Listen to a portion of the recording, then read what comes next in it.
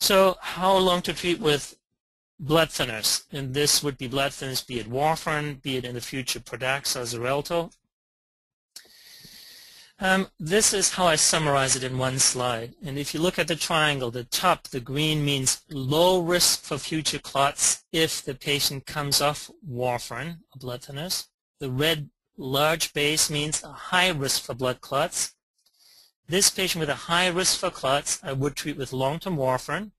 And I would accept some risk for bleeding that everybody has with warfarin because you prevent a lot of blood clots. Whereas this patient who has a low risk for future clots, you would not keep on long-term warfarin because the risk for bleeding outweighs the benefit. And you see that the green area here, those patients typically get treated with three months of anticoagulation. And those would be patients with a DVT or PE due to a transient risk factor, i.e. surgery, major surgery, hospital stay, major trauma. Those people have a low risk for recurrence, three months for DVT or PE, stop, and we're good. Now, the people with the highest risk for recurrence, you see down here on the right, the men with either DVT or PE that is unprovoked. No risk factor identified, i.e. no hospitalization, no immobility. We call that an idiopathic DVT or PE, unprovoked. Those people, if they come off warfarin after, let's say, six months, have a 1 in 3 risk of another clot if they're not on warfarin over the next five years, a 30% risk of another clot.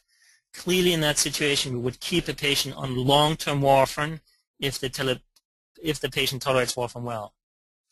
Now women have a slightly lower risk for blood clots, and therefore they fall here in, in the middle of this triangle. And particularly women who had a DVT or PE that was hormone associated with birth control pill, ring, or the patch. With pregnancy, hormone replacement therapy, they have a lowish risk for recurrence, even though not quite as low as the people with a surgery-associated clot.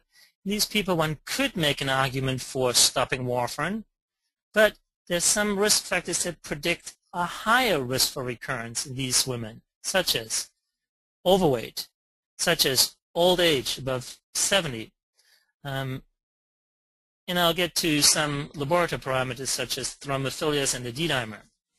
And then women with a true unprovoked event, an idiopathic DVT or PE, have this intermediate risk where if they tolerate warfarin well, we tend to continue warfarin long term.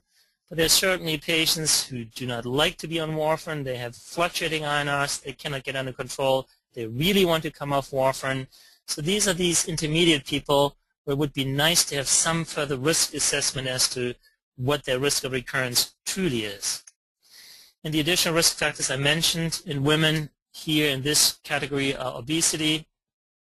The leftover clot, the scar tissue that I mentioned, is not a risk factor for recurrence, and that's why I put it into parentheses, but I did want to mention it. So findings on the Doppler ultrasound do not really help with decision making.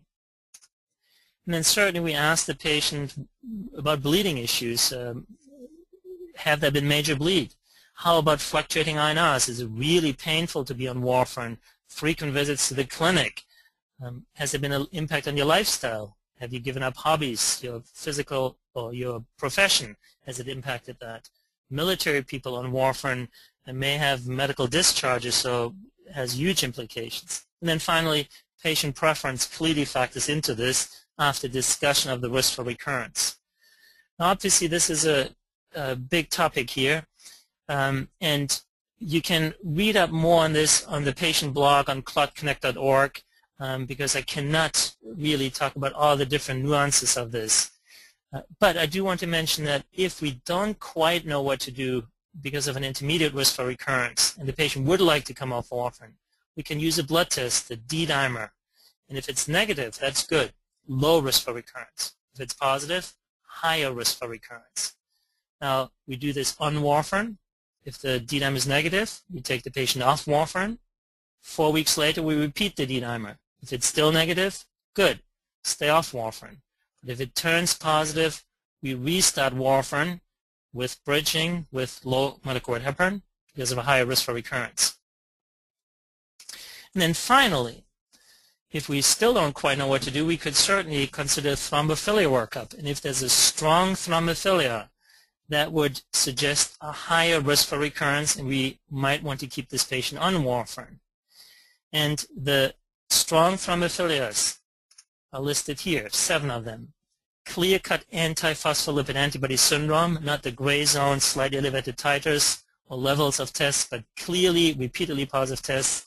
True antithrombin deficiency, rare, protein C and protein S deficiency, uncommon, homozygous factor V Leiden, this is having two abnormal factor V Leiden genes, uncommon, having two abnormal prothrombin factor 2 mutations, or having one abnormal 5 Leiden plus one abnormal prothrombin mutation.